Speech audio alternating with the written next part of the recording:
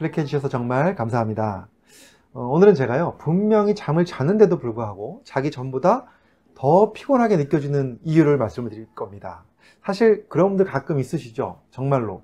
예, 이상하게 잠을 자기 전보다 깰 때 더 피곤하게 느껴지는 경우 있잖아요. 왜 잠을 잤으면 좀 그래도 덜 피곤하게 느껴져야 되는데 왜 그럴까? 거기에 대한 세 가지 이유를 말씀드리고요. 각각에 대한 해결책도 함께 말씀을 드려보도록 하겠습니다. 자, 궁금하시다면 끝까지 봐주시고요. 그리고 도움이 되셨다면 좋아요, 구독, 알림 신청해 주시면 정말로 감사하겠습니다.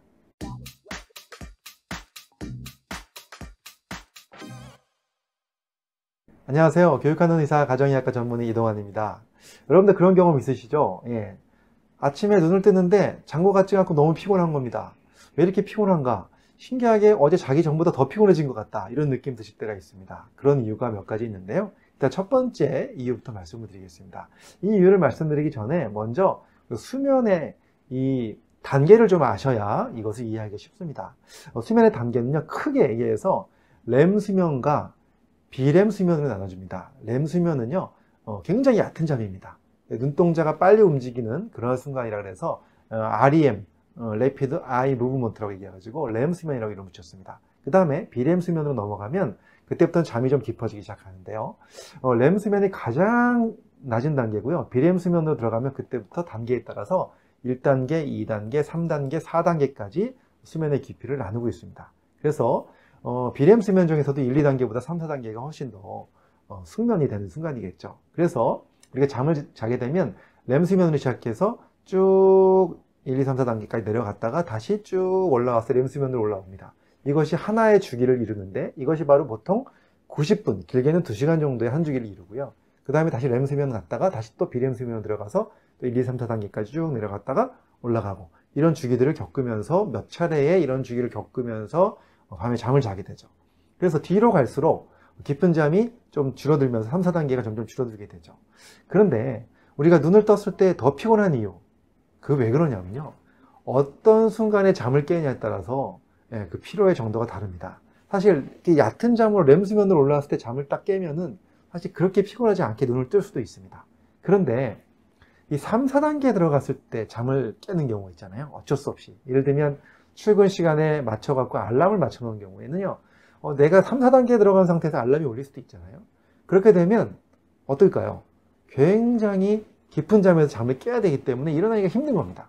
막 정신이 혼미하죠. 잠이 잘 안 깨고. 이게 바로 3, 4단계에 들어갔을 때 어, 잠을 깨는 순간에 그렇게 더 피곤함을 느끼는 겁니다. 그래서 이 주기에 따라서 언제 깨느냐에 따라서 내가 더 피곤하게 느끼는 날이 있고 어떤 날은 개운하게 일어나는 일이, 날이 있잖아요. 그 차이가 있습니다. 그래서 요즘엔요 이런 앱도 나왔어요. 제가 지금 어, 갤럭시 워치를 차고 있는데요. 갤럭시 워치에 어떤 앱이 있냐면 어, 자기의 수면 단계에 맞춰서 가장 수면이 어, 위로 올라왔을 때, 그러니까 얕은 수면에 있을 때 잠을 깨워줌으로써 내가 좀 더 편안하게 일어날 수 있게 해주는 그런 앱도 요즘에 개발이 돼서 제가 한번 실험을 해봤는데요.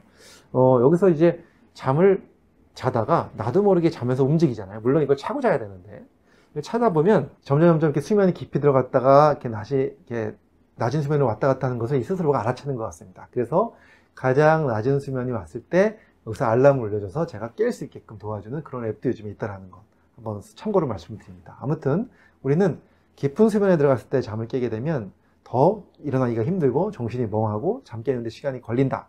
그래서 피곤하게 느껴진다. 이게 첫 번째 이유고요. 그 다음에 두 번째 이유가 있습니다. 길게 잠을 잤는데도 잠과 같이 않은 경우가 있습니다. 그것은 바로 왜 그러냐면요. 3, 4단계까지 수면이 못 들어가고 계속 얕은 수면을 유지한 경우가 그런 경우가 있습니다. 그런 경우는 어떤 경우일까요? 가장 대표적인 경우가 바로 수면 무호흡.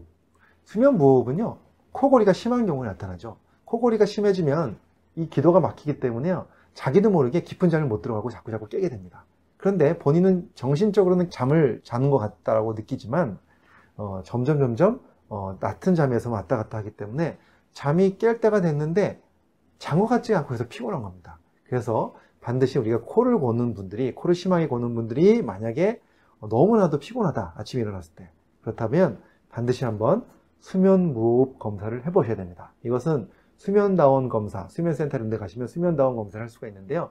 1박 2일 동안 자는 동안에 내가 몇 번이나 깨는지를 그리고 얼마나 호흡을 멈추는지를 검사함으로써 그것들을 확인할 수가 있습니다. 그래서 꼭 한번 확인해 보시면 도움이 될 것 같고요. 그 다음에 세 번째 이유가 있습니다. 이것은요, 뭐냐면 만성 피로의 원인 중에서 부신 기능이 저하됐을 때 생기는 만성 피로의 가장 큰 특징이 뭐냐면 아침에 잠자, 잠을 깨기가 너무 어려운 겁니다.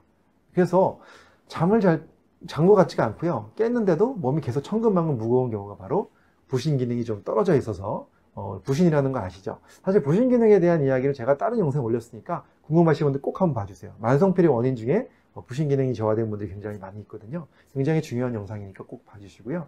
사실 부신 기능이 약해진 분들은 예, 몸에서 예, 부신 호르몬이 잘 나오질 않기 때문에 아침에 딱 일어났을 때 굉장히 몸이 개운하지 못하고 항상 힘듭니다. 그래서 부신 기능이 약한 것을 끌어올리는 그런 치료를 해야 되는 거죠. 그것은 뭐 여러 가지 영양소들도 있고요. 또 부신 기능을 끌어올려주는 뭐 여러 가지 허브들, 시베리안 진상이라든가 뭐 이런 허브들을 같이 치료 어, 먹음으로써 부신 기능을 끌어올려주는 그런 치료도 할 수가 있습니다. 그런데 여기서 주의할 점 하나 아셔야 될 점이 바로 뭐냐면 원래 잠이 많아서 아침잠이 힘든 분들하고 부신 기능이 떨어져서 어, 힘든 경우하고 어떻게 구분하느냐 굉장히 중요한 구분법이 있습니다. 일단 아까 그 첫 번째 있잖아요. 깊은 잠에서 3, 4단계에서 깬, 깬다 하더라도 물론 잠이 깰 때는 힘듭니다. 하지만 억지로 세수하고 눈을 떴어요. 그러면 30분 안에 몸이 좀 깨어나면서 정신이 드는 것이 정상입니다. 이것은요, 왜 그러냐면 사람이 잠을 깨면요, 부신에서 호르몬이 나오거든요. 그 콜티졸 같은 호르몬들이 나오면서 사람이 몸에서 잠을 깨고 활력을 찾게끔 만들게 되어 있습니다. 30분 안에 그런 호르몬이 나오기 때문에 그래서 정상적으로 아무리 잠을 깨기 어려워도 30분 후에 몸이 개운해지면 그것은 정상적인 사람이라고 보시면 됩니다. 근데 계속해서 잠이 깬 것 같지 않고 계속해서 몸이 힘들고 처진다. 그렇다면 아마도 부신에서 이런 호르몬들을 제대로 분비하지 못하는 것이 아닌가. 부신 기능이 좀 약해진 것이 아닌가. 이런 것들을 한번 의심하시는 것이 좋겠습니다. 자, 오늘 제가 이렇게 세 가지 말씀을 드렸습니다. 어, 첫 번째는 수면의 주기에 따라서 어, 깼는데 계속 피곤하게 느낄 수 있다. 두 번째는 숙면이 안 돼서 그 중에서 가장 중요한 이유가 수면 무호흡 때문에 그럴 수 있다. 세 번째는요, 어, 부신 기능이 약해져서 만성 피로가 와서 그럴 수 있다. 이 세 가지 말씀을 드렸는데요.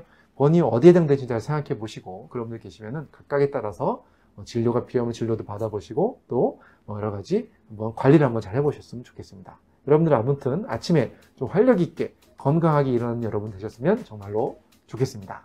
감사합니다.